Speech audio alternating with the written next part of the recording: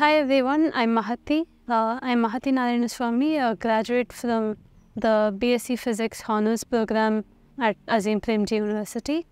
I graduated earlier this year, that is 2023. Now I'm basically headed to Yale University for a PhD program and I'm looking to specialize in biophysics. So I started my journey at APU when during the COVID years in 2020 uh, when I joined um, the physics program. And uh, I originally applied to APU because the faculty that had basically seen on the web page and I found their interests and all of that very interesting.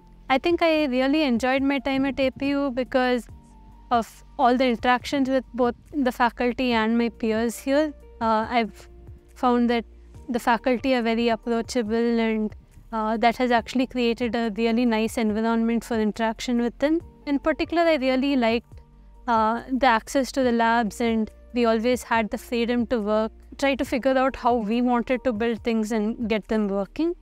For instance, uh, we have a couple of telescopes in the lab and we, throughout our second and third years uh, when we were on campus, we've always had the freedom to take it up, set it up on the terrace, use it and put it back. We were given that sense of responsibility uh, to actually take ownership for things in the lab, and that really created a nice working environment in the lab where we were trusted, but at the same time, we also took some responsibility for everything that was there.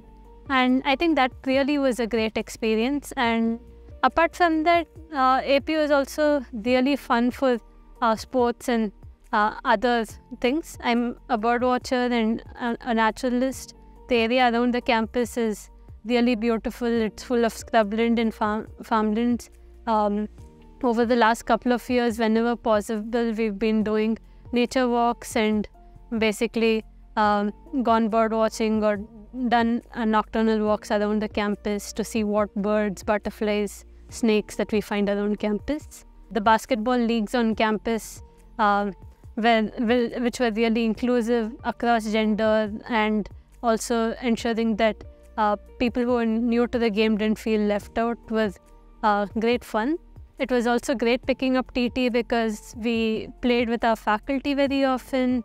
Uh, I think most of us physics students kept getting beaten by, in particular, one of our faculty, and a lot of interactions happened through outside classes, having interactions about other things that we were interested in and many such things. And I think that really sums up uh, my time at APU, which I think uh, I really value. All the physics faculty I have really special uh, interactions with and memories to take away. Off the top of my head, probably Pradeep is someone I've interacted with a lot because I was interested in using the telescope and I've done many uh, stargazing sessions with him, and and I think looking for Andromeda definitely with our Bangalore skies is definitely something that will be a memory for me.